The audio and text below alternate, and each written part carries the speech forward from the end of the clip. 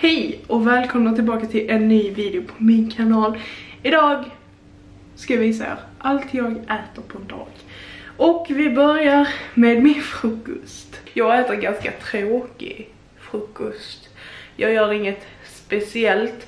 Jag är en sån här person som, alltså de flesta så här frukostsakerna som finns, alltså typ yoghurt, gröt, alltså ni vet såna här grejer. Jag tycker inte om det, jag tycker det är jätteäckligt. Så jag kör liksom mackor. Så här har vi jättefranska. På senaste tiden så har jag bara druckit alltså vanligt vatten till frukost. Men vissa dagar så tycker jag om att göra något lite extra. Det här teet är faktiskt jättegott. Ni hör ingenting för jag kokar vatten. Det här är ett te från Lidl. Faktiskt eh, väldigt, väldigt gott tyckte jag. Köpte det lite så här som ett litet experiment för att se om det smakar chai eller inte. Men jag har eh, tyckt om det. Just nu så har vi jättemycket ägg. Eh, för att jag fick av Hebbe och sen så hade jag själv köpt ett helt flak. Så eh, jag ska ha ägg på min macka.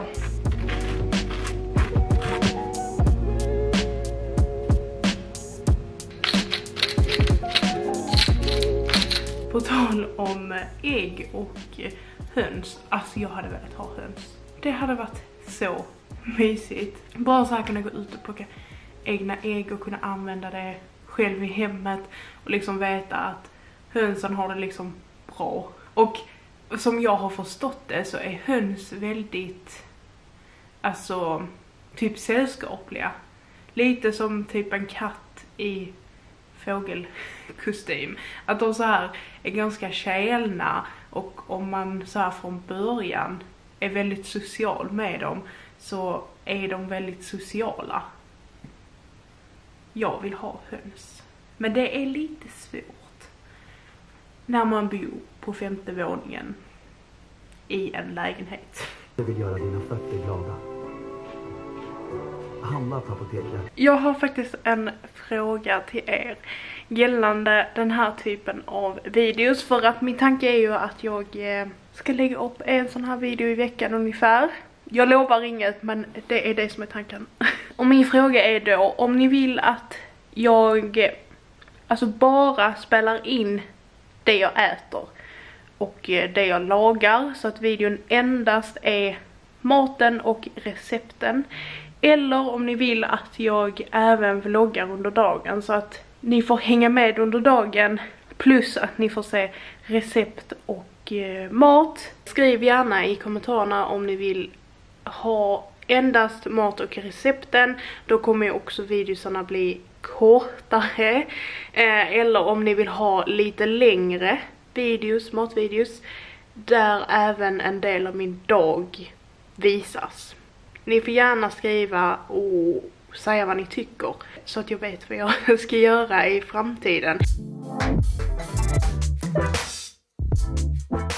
Nu är det dags för lunchen och jag är så taggad på den här. Jag provlagade faktiskt den här igår bara för att jag skulle testa ut och se hur jag skulle göra för att det liksom skulle bli gott och om det faktiskt var gott.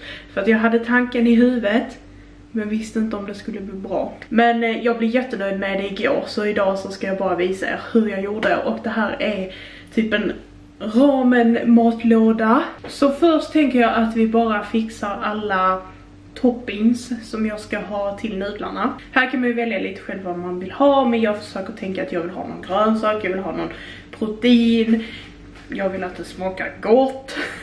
Så jag själv har valt eh, pak choi. Sen så har vi lite champinjoner, jag tycker om svamp så varför inte. Sen här har vi tofu och jag kommer inte göra någonting med tofun utan jag kommer låta den vara naturell. Om man inte vill ha naturell tofu kan man ju helt klart göra någonting med den, marinera den, steka den innan, ja.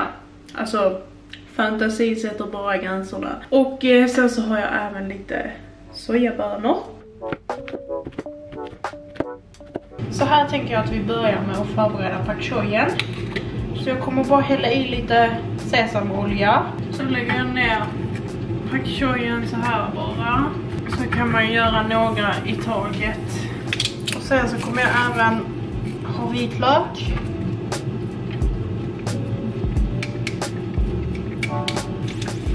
Och så vänder jag bara på dem. Och så kommer jag ta lite soja. Inte för mycket för annars bara det så här, det bränner bara fast annars. Och sen så tar jag ett lock och lägger på och så låter jag dem vara där inne i eh, några minuter. Och eh, nu när de har legat här ett tag så tar jag bara upp dem och lägger på en tallrik så länge. Nu ska vi göra svampen. Så lite olja. Sen i med champinjonerna. Den här stekpannan är lite liten. Jag kommer hälla på lite soja på detta också.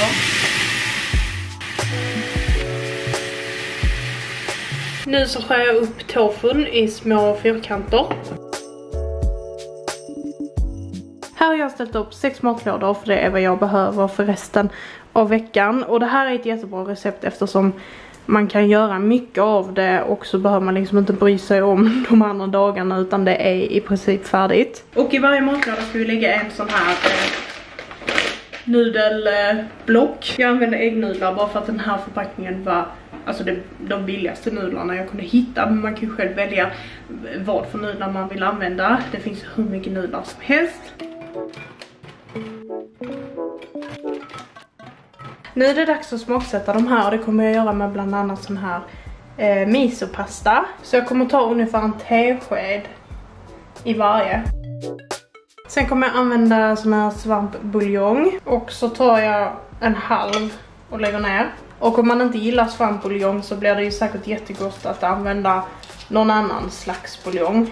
Om man hellre vill det liksom. Och nu är det bara till att fylla på med alla tillbehören som man vill ha.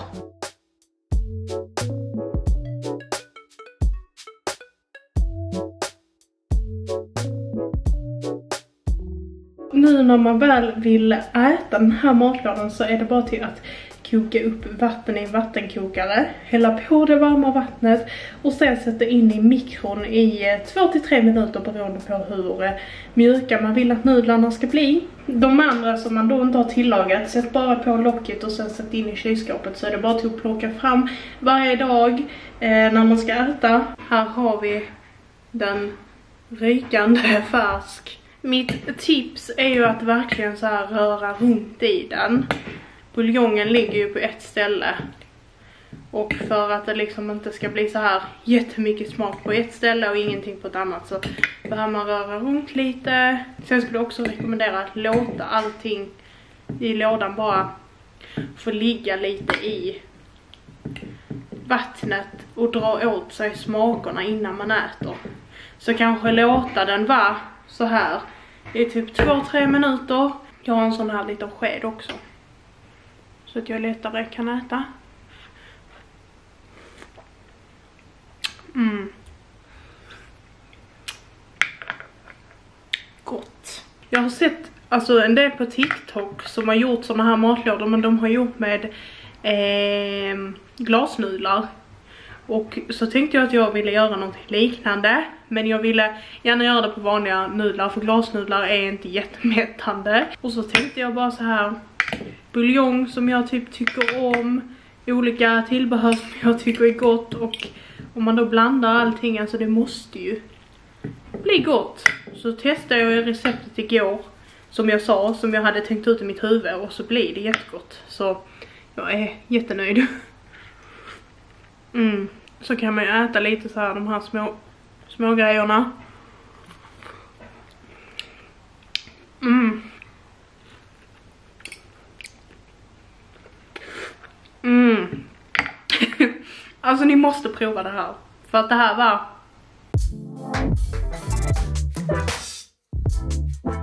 Klockan är runt eh, tre tiden nu och vid den här tiden så brukar jag bli lite småhungrig. Men det är ju inte så jättelång tid innan eh, jag och Sebbe ska äta kvällsmat. Så nu brukar jag ta något sånt här mindre snacks. Något som jag tycker är sjukt gott det är morötter med hummus. Och eh, jag har ju skurit upp morötterna och lagt dem i vatten så här. Så att de ska... Oj. så att den ska hålla längre. Sen hummusen som jag tycker är god, det är den här med så här soltorkade tomater. Jag tycker den smakar väldigt gott.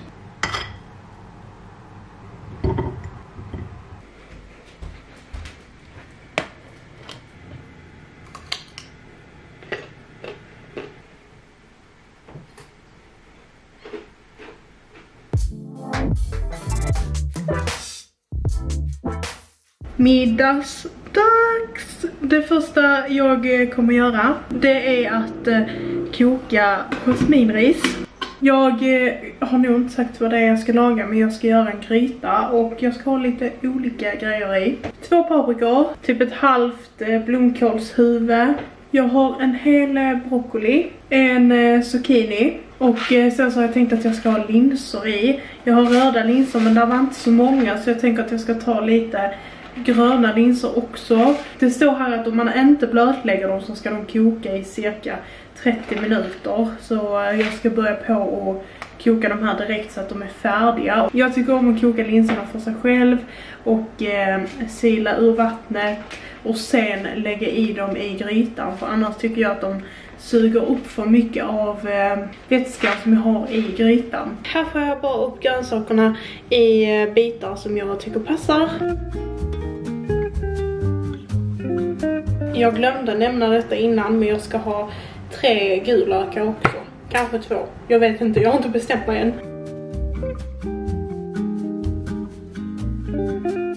Jag eh, kommer även ta några klyftor vitlök. Så i den här kastrullen kommer jag hälla i olja. Och nu slänger jag i vitlöken och gulöken. Så steker jag det här på ganska hög värme. Tills löken liksom mjuknat lite. Och fått lite färg. Och nu kommer jag hälla i alla grönsakerna.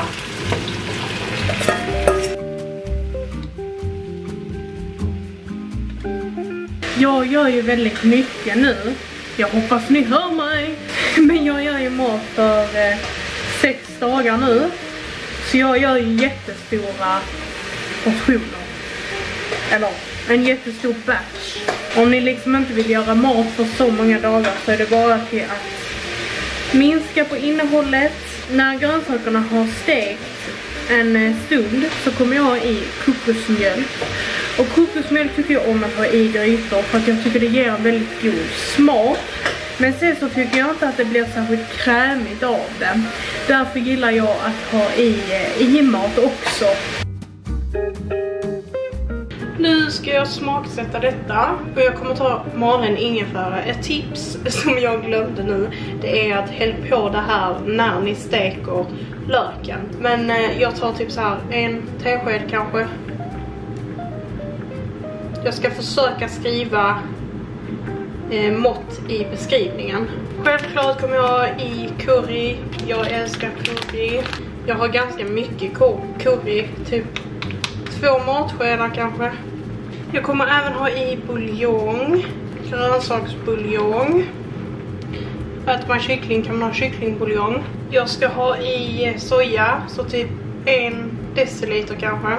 Jag tar lite röd curry också. Typ eh, en tesked kanske. Jag kommer även ha i lite paprikapulver. Den är nästan slut.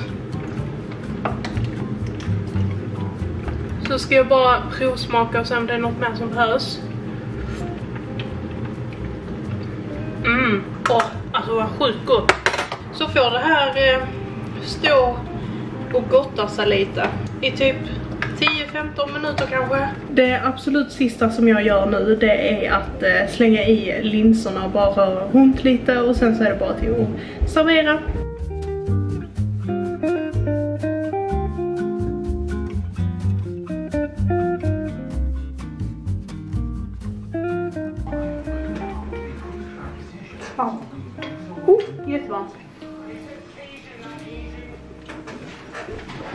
Det var gott. Det var väldigt gott. Ja. God smak. Mm. Det smakade lagom mycket. Det var lagom starkt.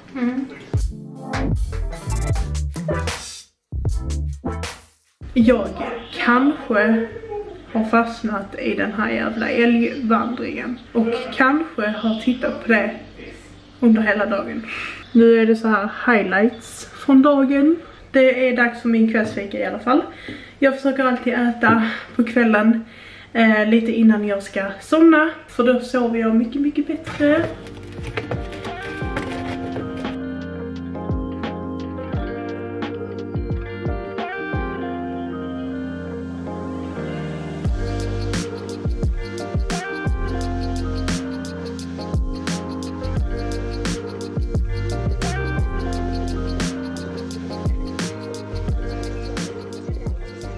Jag eh, kommer skriva alla recepten nere i beskrivningen. Jag eh, hoppas verkligen att ni har tyckt om vloggen.